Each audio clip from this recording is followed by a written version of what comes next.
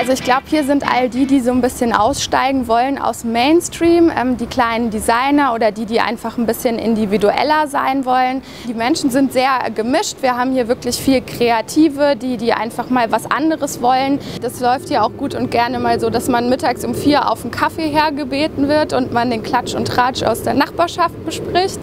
Also es ist wirklich ein sehr, sehr familiäres Umfeld, wo man sich ganz gut wohlfühlen kann.